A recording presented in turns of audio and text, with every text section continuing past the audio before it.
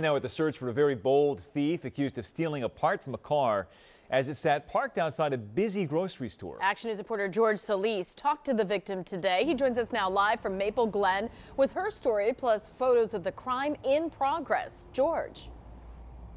That's right, Brian and Sarah. What's really got some blood boiling out here in this community is how brazen this crime was. It happened in broad daylight here in this shopping center where people were out shopping. Some people assuming that perhaps someone was working on their car when it happened. Now, I just got off the phone with police who say they have hopefully identified some suspects and they are warning the public if they see this happen to call them immediately.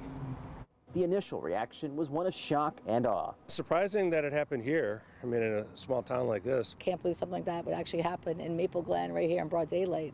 But that's exactly what happened. Photos taken by witnesses and now part of a police investigation documented what witnesses said was the theft of a catalytic converter from the giant grocery store parking lot off Norristown Road that occurred this past weekend. Even though I knew a catalytic converter had been stolen, I had no idea what that was or what it meant.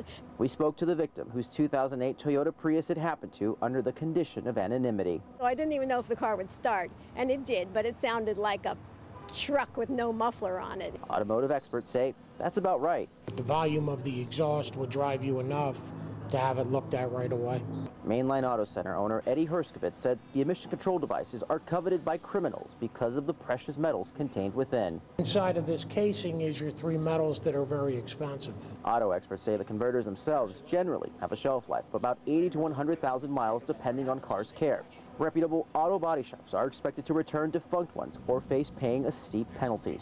Replacing them broken or stolen can set you back a few thousand. A man stepped in front of me and said, Don't even think about it, ma'am, just back away.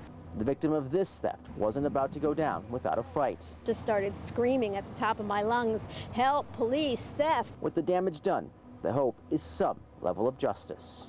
I love my little car, and I wanted to try to protect it if I could. Yeah, guys, now the biggest problem here is auto experts say that criminals can make short work out of getting these catalytic converters. Fortunately, they say there are products in development like cages to put around them to make it a little more difficult for those criminals to snag them. We are live in Maple Glen, George Solis, Channel 6 Action News. Been Sarah? happening in